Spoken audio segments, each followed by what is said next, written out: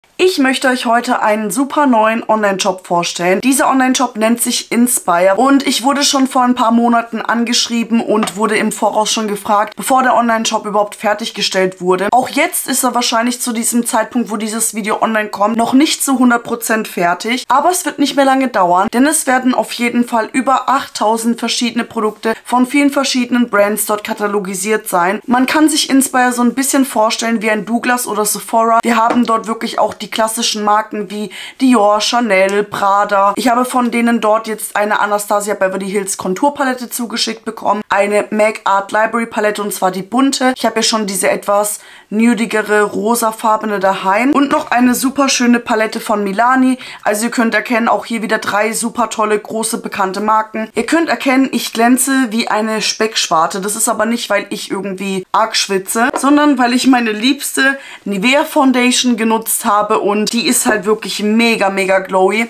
Das war aber auch mit Absicht gewählt, denn wie ich ja gesagt hatte, habe ich ja eine Anastasia Konturpalette daheim. Und das ist die hier. Ich habe noch nie irgendwas Face-Produktmäßiges von ihr ausprobiert und so sehen die Farben aus, also super schön. Ich möchte das mit euch testen und zwar wirklich richtig intensiv und deswegen dachte ich, das geht natürlich nur, wenn ich glänze wie verrückt, denn wir werden natürlich auch das Setting-Puder benutzen und zuallererst würde ich gerne damit anfangen, mit meinem kleinen Schwämmchen von Maxim in dieses Banana Powder hier zu gehen. Und damit setten wir jetzt hier mal direkt unterm Auge.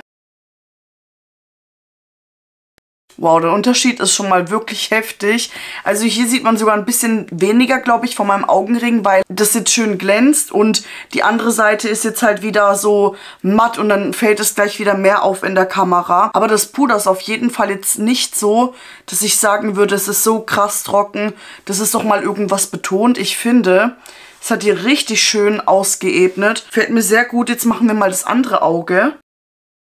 Auch hier wieder eine super tolle Korrektur, finde ich. Ich glaube, das liegt auch ein bisschen am Banana Powder. Es nimmt mit dieser gelben Farbe einfach nochmal so ein bisschen Schatten weg. Und es gefällt mir auf jeden Fall sehr gut. Jetzt würde ich dann tatsächlich gerne die erste Farbe hier benutzen. Die wird mir bestimmt zu hell sein eigentlich zum Setten. Aber ja, wir testen es einfach mal. Auch hier könnt ihr direkt erkennen, im Vergleich zur anderen Stirnhälfte, hier ist es viel, viel matter. Jetzt bin ich ungefähr bis hier leider schon hin mit dem Puder, aber ich denke an dieser Stelle kann man erkennen, dass es auf jeden Fall schon weniger geworden ist. Es nimmt aber trotzdem nicht zu viel Glow weg, also ich finde, da ist trotzdem noch einiges an Bewegung auf meiner Haut, was richtig schön ist, ehrlich gesagt. Jetzt machen wir mal hier unten weiter, denn ich muss auf jeden Fall das komplette Gesicht gesettet haben für die ganzen anderen Produkte. Ich muss tatsächlich sagen, dafür, dass die Farbe so weiß aussieht, macht es jetzt eigentlich keinen großen weißen Effekt auf der Haut, muss ich sagen. Also es ist auf jeden Fall noch vollkommen im Rahmen. Aber dieses Banana Puder unter den Augen gefällt mir echt um einiges besser als jetzt so im Gesamtbild das andere Gesicht, weil ich das halt auch mit so einem Schwämmchen direkt ganz zentriert aufgegeben habe. Es gefällt mir wirklich sehr gut. Also, hm, die beiden Farbtöne haben schon mal überzeugt. Haben wir natürlich kein Blush mit drin, das heißt, wir werden Blush heute weglassen. Ich würde dann jetzt aber gerne mit so einem fluffigeren Pinsel in diese Konturfarbe hier gehen. Ihr könnt erkennen, das ist die kühlste von den drei Farbtönen hier. Und dann klopfe ich nochmal gut ab und dann setzen wir hier mal so die Kontur. Die baue ich einfach stückchenweise auf. Ich mag das lieber ein bisschen langsamer zu machen. Dennoch mag ich eigentlich schon eine krasse Kontur. Also ich konturiere wirklich sehr, sehr selten. Aber wenn ich es tue, möchte ich eigentlich schon, dass man sie sieht, weil weil sonst wäre das ja irgendwie voll schade. Aber es macht direkt einen Effekt. Ich finde, mein Gesicht ist gerade richtig dünn geworden. Man muss aber auch dazu sagen, ich habe gerade wirklich viele Wassereinlagerungen im Gesicht. Deswegen sehen auch meine Augenringe so krass aus. Aber das ist einfach jetzt den letzten paar Schwangerschaftswochen geschuldet. Aber hier habt ihr mal den Vergleich. Ich tue mal kurz den Pony ein bisschen zur Seite. Und dann könnt ihr das erkennen, glaube ich, ganz gut, dass man hier wirklich eine wunderbar schöne Kontur hat und hier halt eben noch nicht. Das werden wir jetzt aber natürlich ändern. Also die Farbe ist auch wirklich sehr schön. Ich finde, für meinen Hautunterton, weil ich ja so ein etwas, so einen gelblich-olivenen Hautunterton habe, könnte sie ruhig ein Stückchen kühler sein. Also gerade so ein anderer Hautunterton macht da tatsächlich auch immer ein bisschen Probleme. Aber es ist auf jeden Fall noch im Rahmen. Also wie gesagt, es könnte kühler sein. Bei einer hellen Hautfarbe wäre das bestimmt auch relativ kühl. Also ich finde auch, dass sie relativ kühl ist. Auch wenn man hier natürlich trotzdem einen starken Rotanteil sehen kann. Aber sie wäre auf jeden Fall bei anderen Hauttönen kühler als bei mir. Und das ist jetzt gerade mal so die fertige Kontur. Jetzt nehme ich mal so einen größeren Pinsel und gehe damit mal in die Bronzerfarbe. Ich glaube, ich nehme mal die hier hinten, die habe ich auch noch gar nicht benutzt. Und die klopfe ich gut ab. Und die setzen wir dann hier ein bisschen über die Kontur drüber. Also ich bin mal gespannt, ob jetzt gleich... Ja, ich denke, man kann es sehen. Dass es jetzt ein bisschen wärmer und nochmal einen Ticken rötlicher ist. Wie gesagt, auch meinem Hautunterton geschuldet, aber sehr schön, muss ich sagen. Also die Seite gefällt mir gerade richtig gut. Jetzt machen wir die andere Seite noch. Ich persönlich mag das auch sehr gerne, lieber einen Bronzer zu benutzen und einen Highlighter, als jetzt da noch Blush. Irgendwie kann ich mich mit Blush nicht so zu 100% anfreunden. Also Bronzer geht wirklich immer, aber Blush ist echt nicht so mein Ding. Gut, dann würde ich einfach sagen, wir gehen dann noch in diesen Highlighter rein. Das ist tatsächlich ein Highlighter. Vielleicht könnt ihr den Schimmer erkennen, ich glaube jetzt schon. Und den swatche ich euch mal neben die Konturfarbe. Und das ist er. Also wirklich kein Riesenglow, was ich aber persönlich eh nicht so mag. Also ich bin zufrieden, wenn es weniger ist. Und die Farbe setzen wir hier einfach mal hin. Und dadurch, dass ich so einen fluffigen Pinsel genommen habe, sieht es jetzt auch nicht so extrem aus. Das war jetzt dann so der erste Rundgang mit dieser Palette. Und ich bin wirklich kein großer Face-Palettenmensch mehr. Aber ich persönlich finde die echt gut. Ich habe, wie gesagt, noch keine Anastasia Beverly Hills Paletten ausprobiert gehabt. Und die gefällt mir wirklich, wirklich gut. Vor allem das Banana Powder hat es mir richtig angetan. Das habe ich heute schon zum zweiten Mal mit diesem Schwämmchen benutzt. Und ich bin wirklich absolut begeistert, was es unter den Augen macht. Aber bisher auf jeden Fall eine große Empfehlung. Dann haben wir natürlich auch zwei Lidschattenpaletten. Und zwar einmal die Milani Gilded Terra Palette. Die sieht so aus. Richtig schön. Wenn man sie so anguckt von außen, kann man sich direkt denken, passt perfekt in den Herbst. Und das tut sie tatsächlich auch. Hier haben wir die wunderschöne Palette von innen. Das Packaging von außen passt auf jeden Fall perfekt dazu. Und diese Farben sind einfach nur der Wahnsinn. Also ich habe noch keine Ahnung, was ich damit schminken werde. Die werden wir aber auf jeden Fall auf einem Auge benutzen. Und dann die andere Palette. Das ist diese MAC Art Library It's Designer Palette. So heißt die bunte Version sozusagen. Und so sehen hier die Farben aus. Wie gesagt, richtig bunt. Ist so wirklich eine etwas künstlerische Palette von MAC. Muss jeder für sich selber wissen, ob er sowas mag. Ich habe die halt genommen, weil ich halt so viel Auswahl wie möglich in einem Video für euch haben wollte. Es ist einfach echt schwierig, finde ich, hier einen Look damit zu kreieren. Aber wir werden es trotzdem tun. Das heißt, die eine Seite wird wahrscheinlich krass bunt, die andere etwas softer, nudiger, denke ich zumindest. Ich würde auf jeden Fall sagen, wir fangen mit der Milani Palette an. Ich starte mit so einem Pinsel und gehe damit in, gehen wir mal direkt in diesen dunklen Grünton. Es wühlt sich ganz schön auf, aber es ist jetzt auch nicht zu viel, also es ist noch vollkommen in Ordnung. Ist wahrscheinlich ein gutes Pigment. Und das stempel ich dann einfach hier so direkt hin. Und ihr könnt erkennen, die Farbe ist direkt da. Ich muss sagen, ich hatte oder habe eine Milani-Palette, aber da finde ich die Lidschattenqualität jetzt nicht so gut. Aber der Ton hat mich echt, dafür auch, dass es so ein dunkles, schweres Grün ist, direkt aus den Socken gehauen, muss ich sagen. Dann drehe ich meinen Pinsel und gehe mal damit hier in diese obere braune Farbe. Die ist so ein bisschen heller, rötlich, würde ich sagen. Und die platziere ich dann hier so direkt nebendran mischt es aber schon mal so ein bisschen mit dem Grün zusammen. Ist auf jeden Fall eine schöne Farbe, die sich auch echt gut mit diesem Grün ausblenden lässt. Dann machen wir jetzt nächstes Mal weiter mit diesem Rotton hier. Und den gebe ich jetzt komplett bis hier vorne hin auf. Ich versuche wirklich wieder so bunt wie möglich zu schminken, so viele Farben wie möglich zu benutzen, um einfach die Palette am besten wie möglich bewerten zu können. So, das ist der perfekte Übergang oder der beste, den ich momentan hingekriegt habe. Aber er gefällt mir sehr gut. Ich finde, man erkennt auch gar nicht, dass ich braun, rosa und grün miteinander gemischt habe, was ja eh schon so eine schwierige Kombi eigentlich ist. Aber man sieht davon nicht viel. Ich würde gerne jetzt auch passend die Farben dazu benutzen. Und zwar einmal diesen grünen Schimmerton, dann den hier und vielleicht ganz vorne die Farbe Glamping. Das würde ich jetzt einfach gerade mal so ein bisschen nebenbei mit euch machen. Beim Schimmer habe ich direkt gesehen, das wird jetzt nicht der krasseste Schimmer, aber es ist doch mehr, als ich ehrlich gesagt gedacht hätte. Dann gehe ich mit einem anderen Finger in die lilane Farbe rein und uh, und die gebe ich mir jetzt mal bis vorne hin und das Gold gebe ich mir dann sozusagen in den Innenwinkel als Highlight. Und ich gebe jetzt mal noch in die Mitte mit dem gleichen Pinsel, mit dem ich die Mattenfarben aufgebaut habe, gebe ich einfach in die Mitte nochmal ein bisschen was von diesem Schimmerbraunton. Aber nur ein bisschen einfach, nur um diese Übergänge so auszublenden. Dann gehe ich, wie gesagt, in den goldenen Ton hier. Das ist die Farbe Glamping. Und die benutze ich jetzt dann für den Innenwinkel, wenn das mit dem Pinsel funktioniert. Ich habe das Gefühl, es kommt gerade kaum was ja, doch, es geht. Also es könnte auf jeden Fall besser sein. Man kann sich das dann natürlich auch ansprühen, wenn man es möchte.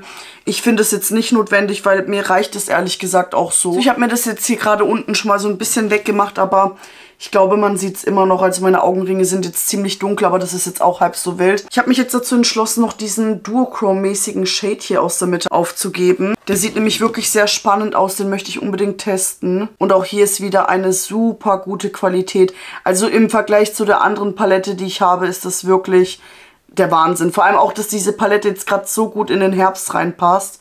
Ist wirklich ein Glückstreffer. Und so sieht die Farbe jetzt aus. Es ist auf jeden Fall, wie gesagt, ein herbstlicher Look. Ich würde jetzt gar nicht mal zu lange jetzt über dieses Auge reden. Wir machen das dann danach. Ich würde sagen, wir springen direkt drüber zur MAC Art Library Palette. Ich würde sagen, wir gehen einfach direkt in dieses Rot, weil das schreit mich hier aus der Palette am meisten an. Und ich habe keine Ahnung, was das werden wird. Ich fange jetzt einfach mal von vorne an und stempel mir die Farbe hier in den Innenwinkel. Also dieses Rot ist echt der Wahnsinn. Ich glaube, so ein Rot habe ich noch nicht in meiner Schminksammlung. Vielleicht auch irgendwo in irgendeiner riesigen bunten Palette, vielleicht in diesen Carnival-Paletten oder so von Be Perfect, aber boah, diese Farbe ist wirklich so neonrotmäßig, das ist richtig schön. Damit hatte ich jetzt auch irgendwie nicht gerechnet. Ich dachte tatsächlich, die kommt wie so normales Rot auf dem Auge raus. Daraus halt jetzt was zu machen, wird schwierig. Ich muss aber ehrlich sagen, im Sommer hätte ich mir diese Farbe einfach nur hier in den Innenwinkel gesetzt einen Eyeliner gezogen, vielleicht mit der gleichen Farbe und dann wäre es das gewesen. Ich gehe jetzt direkt mit dem gleichen Pinsel in diese pinke Farbe hier, die direkt nebendran ist und versuche damit jetzt irgendwie einen Übergang zu erschaffen,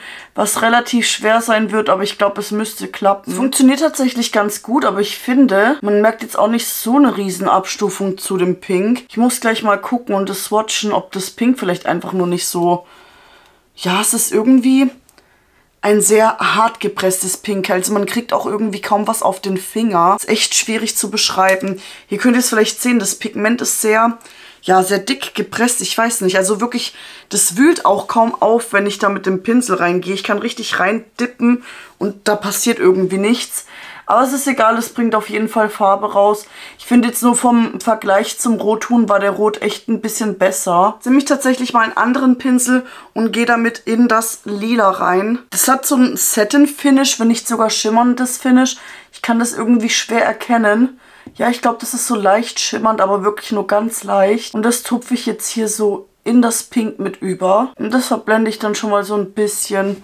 Und gehe dann aber auch in das Schwarz rein. Das möchte ich unbedingt testen, weil Schwarz ist wirklich sehr schwierig. Das gebe ich mir jetzt hier unten an die Linie. Mir fehlt jetzt noch ein Schimmerton. Dafür würde ich tatsächlich gerne in den Ton hier gehen, weil das auch so eine Art Duochrome ist. Und die gebe ich mal hier hin. Also ich muss ja schon zugeben, dass der Look sogar ziemlich alltagstauglich aussieht. Ich nehme jetzt so einen kleinen, fester gebundeneren Pinsel und gehe damit in das wunderschöne Grün. Und das gebe ich natürlich jetzt unten hin. Ich wollte es ja farbenfroh haben, also machen wir das jetzt auch. Jetzt bleibe ich beim gleichen Pinsel und gehe noch in das Gelb und blende nochmal das Grün so ein bisschen mit aus. Ich glaube, man kann ganz gut die Abstufung erkennen. Würde ich gerne diesen Blauton in den Innenwinkel geben, was auch nicht gerade üblich ist. Aber ich möchte es tun, denn ich liebe verrückte Sachen. Und den gebe ich mir jetzt einfach hier so hin. Und ich muss tatsächlich sagen, das macht sogar einen richtig guten Übergang zwischen oben und unten. Das verbindet so wirklich komplett miteinander.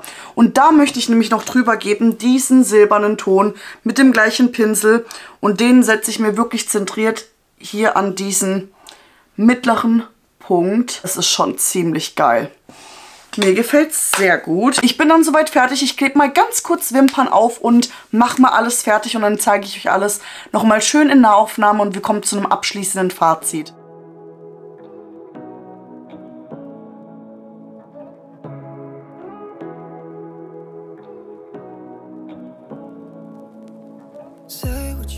So, hier bin ich wieder mit meinen fertigen Looks. Ich habe Wimpern und noch Lippenstift drauf gemacht und bin soweit fertig. Ich finde, die sind richtig cool geworden. Ihr habt ja schon meine Meinung zu der Konturpalette von Anastasia Beverly Hills gehört. Von der schwärme ich ja und es wird wahrscheinlich auch noch eine Weile lang so bleiben. Jetzt kommen wir mal zu den beiden Lidschattenpaletten. Ich würde sagen, wir fangen dann auch an, mal die Milani zu bewerten, denn das war die erste, mit der ich gestartet habe. Also mal ganz abgesehen davon, dass ich das Packaging und das Farbzusammenspiel hier drin wirklich unglaublich feier, kann ich euch wirklich sagen, die Qualität hat mich wirklich vom Hocker gerissen. Gerade auch die Schimmertöne, bei denen ich es nicht erwartet hätte, sind übelst geil. Also anders kann man es wirklich nicht sagen. Und man muss halt auch wirklich zugeben, wenn man sich diese Palette anguckt. Es sind zwar relativ viele warme Töne, aber man hat auch hier diesen wunderschönen Shade, mit dem man so einen sanften Hochzeitslook tatsächlich machen könnte. Oder so einen braunen Shade. Also das sind so schöne Farben, gerade die beiden kombiniert, das wäre ein Traum und dann hat man ja auch genug Farben zum miteinander ausblenden und so, also ich finde es richtig toll. Mir gefällt die Palette wirklich, seitdem ich sie das erste Mal gesehen habe. Ich habe wirklich gebetet dafür, dass die mir die auch mit zuschicken, weil ich finde die wirklich super toll und bin sehr, sehr froh, die jetzt in meiner Schminksammlung zu haben. Also wirklich qualitativ von den matten und den schimmernden Farben absolute Empfehlung und man muss dazu sagen, ich glaube die Palette kostet auf Inspire um die 22 Euro, was relativ günstig ist für eine sehr gute Palette, also da kann man echt nicht meckern. Und dann die Make Art Library Palette. Ja, eine Palette, die mich tatsächlich jetzt doch mehr aus den Socken gehauen hat, als ich persönlich erwartet hätte. Was ich vor allem auch toll finde, ist, wie super gut sich die Farben haben miteinander ausblenden lassen. Ich finde, hier merkt man wirklich die Qualität, die dahinter steckt. Der einzige Ton, der mir hier nicht gefallen hat, war der pinke Ton, weil ich persönlich finde, dass der zu fest gepresst ist. Bei den anderen matten Tönen habe ich überhaupt kein Problem gehabt. Also ich habe jetzt auch insgesamt fünf matte Töne sechs, wenn man den lilanen zählen will, weil er halt auch äh, so Satin-Finish hat. Und das war der einzige, mit dem ich so starke Probleme hatte, sage ich mal. Und selbst der hat trotzdem funktioniert. Also auch wieder meckern auf hohem Niveau. Vielleicht wird es dann auch noch ein bisschen lockerer, wenn man öfters reingeht. Allerdings muss man natürlich sagen, öfters reingehen ist hier natürlich schwierig, weil wie oft benutzt man so eine Palette? Und dennoch bin ich erstaunt, dass ich tatsächlich den Look bis zu einem gewissen Punkt sehr alltagstauglich hatte. Also bevor ich wirklich hier unten angefangen habe und mit dem dem blauen Innenwinkel, fand ich, das sah sogar richtig schön noch herbstlich sogar fast aus. Was ich hier wirklich gut finde, sind die Schimmertöne. Jetzt habe ich auch nicht so viele benutzt, aber die finde ich trotzdem tatsächlich sehr gut. Gerade auch der Duochrome Shade hier, der hat mir sehr gut gefallen. Und ja, den Goldton muss ich jetzt mal gucken, aber der wirkt sehr, sehr flockig, aber sehr gut. Also die sind ein bisschen härter von der Konsistenz, nicht zu weich. Was mir aber ein bisschen besser gefällt, weil das hatte ich in der anderen Palette tatsächlich nicht so. Da waren die ein bisschen cremiger und da haben sie dann auch nicht immer so gut funktioniert. Aber die hier sind trockener und ein bisschen besser. Das sind die beiden. Gefallen mir auf jeden Fall jetzt auch vom Swatch her sehr gut. Auf jeden Fall eine tolle Palette, sehr bunt, sehr extrem, was mir aber wirklich gut gefällt. Deswegen müsst ihr das einfach am Ende des Tages für euch selber entscheiden. Wenn ich mir die Farben angucke, ist es auf jeden Fall eine Palette, die ich sehr gerne jetzt in meiner Schminksammlung habe. So von den drei Produkten, von dem Spaßfaktor her in der Benutzung würde ich tatsächlich Milani auf Platz 1 setzen. Dann die MAC Palette auf Platz 2 und Anastasia auf Platz 3, aber nur, weil mir halt Lidschatten insgesamt viel mehr Spaß macht als jetzt Face-Produkte, weil ich tatsächlich im Alltag gar keine Face-Produkte benutze. Aber trotzdem alles super tolle Produkte. Ich kann mich nicht beschweren, ich hatte keinen Flop dabei, was sehr, sehr gut ist. Ich habe euch natürlich den Link zum Online-Shop unten gelassen, auch sowie die Links zu diesen ganzen Produkten bzw. drei Paletten. Das war's dann auf jeden Fall jetzt von mir und ich wünsche euch einen wunderschönen Tag, wann auch immer ihr dieses Video guckt und wir sehen uns beim nächsten Video wieder. Tschüss!